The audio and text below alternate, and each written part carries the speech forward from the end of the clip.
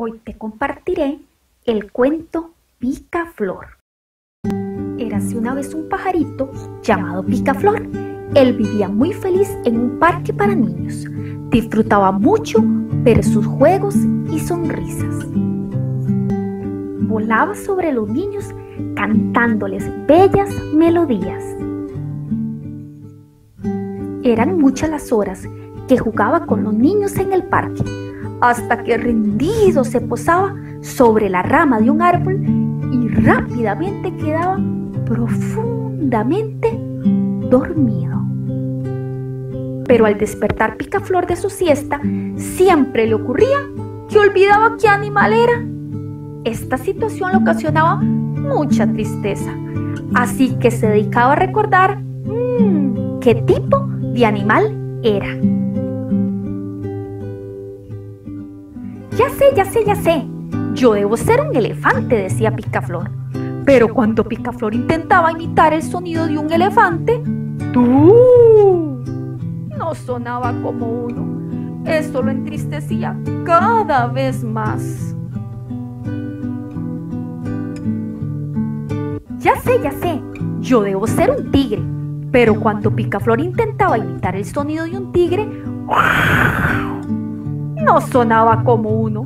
Entonces Picaflor rompía el llanto al no recordar qué animal era. Por dicha, los niños que jugaban en el parque conocían del gran problema que le sucedía a Picaflor al despertarse de su siesta. Así que ellos inventaron una canción para recordarle a Picaflor que él era un pajarito. Pica flor, pica flor, vuelas tú, quedo yo. Y con esta canción los niños le recordaban a Picaflor que era un pajarito y este volvía a sus cantos y juegos dejando sus lágrimas atrás. Una tarde de octubre empezó a llover muchísimo por el parque que vivía Picaflor. Los niños regresaron a sus casas y Picaflor pensó en buscar también refugio ante semejante tormenta. Picaflor miró a la distancia y observó una pequeña bodega en la cual podría refugiarse de la fuerte tormenta. Al entrar a la bodega, Picaflor notó que estaba un poco oscura. Esto le produjo el sentirse algo asustado. De pronto, Picaflor empezó a escuchar sonidos que provenían del piso de la bodega. Muy asustado, empezó a cantar para ver si era alguno de los niños con los que jugaba en el parque. La rana, que también era un animalito que vivía en el mismo parque, la cual por cierto era muy malhumorada, se enfadó mucho con Picaflor, ya que creyó que la estaba asustando. Picaflor me está asustando. Así que la rana quiso hacerle una broma a Picaflor, cantándole una canción para, según ella, asustarlo. Yo canto bajo, bajo, bajo, mi musiquita no se ve. Si todos cierran los ojitos, bajo, muy bajo irán también.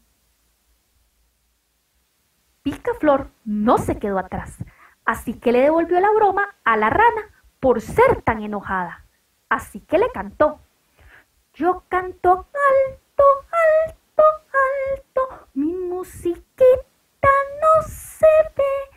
Si todos cierran los ojitos, alto, muy alto, irán también. Tan enojados se pusieron Picaflor y la rana que ya no querían ser amigos.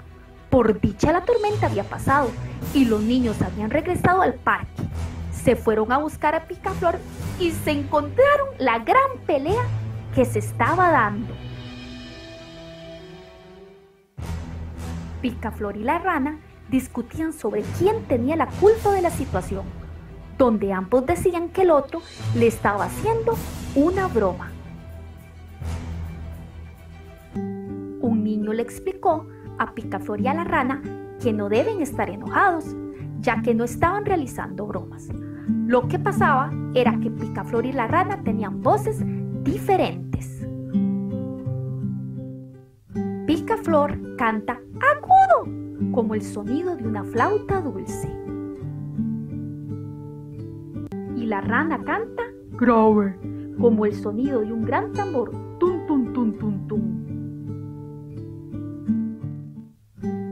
Ese modo, Picaflor y la rana volvieron a ser amigas. La rana se fue a su casita a comer unas deliciosas mosquitas con zancudos. Y Picaflor jugó y jugó con los niños hasta ya no poder más. Así que se posó sobre la rama de un árbol, se quedó dormida y cuando se despertó, ups, no recordaba qué animal era. Ya sé, ya sé, ya sé, decía Picaflor. Yo debo ser una vaca. Pero cuando Picaflor intentaba imitar el sonido de una vaca, ¡uh! No sonaba como una. Así que de nuevo rompía en llanto. Así que los niños volvieron a cantarle a Picaflor y este volvió a estar muy feliz. Picaflor, Picaflor, vuelas tú, quedo yo. Hoy estudiamos los sonidos agudos y graves. Gracias por quedarte hasta el final del cuento. ¡Hasta pronto!